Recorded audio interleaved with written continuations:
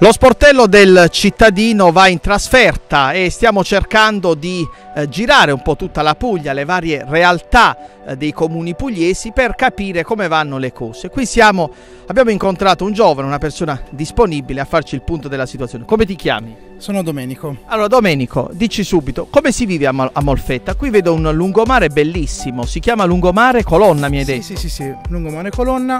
Molfetta è un, è un bellissimo comune, si vive molto bene e ovviamente diciamo come tutti i comuni del panorama pugliese e limitrofi diciamo ha degli aspetti da rimodellare e ri- risistemare però diciamo è un comune a misura d'uomo comunque è una città grande però Quanti abitanti? siamo intorno ai 65.000 se non vado errato Mm, più o meno questo, questo numero bel, vedo che ci sono tutti i presupposti per una forte offerta turistica. Sì, infatti questo è un tema importante. Ehm, nelle scorse volte si diceva che Molfetta non aveva una vocazione turistica come comune, invece diciamo nell'ultimo periodo abbiamo visto che molte, eh, molti turisti dall'estero sono venuti a vedere eh, vari esempi interessanti che ha il comune di Molfetta. Non dimentichiamoci che il Duomo è uno dei primi esempi di romanico in Puglia a Molfetta, quindi diciamo ha un'attrattiva importantissima. Poi vabbè, diciamo sono state fatte delle opere eh, di risistemazione del centro storico, quindi il centro storico adesso ha una visibilità più